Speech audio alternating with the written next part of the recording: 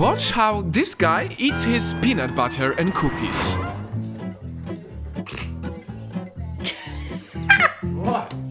And then see how this guy invents an elaborate device just so he can swap his apple juice with beer.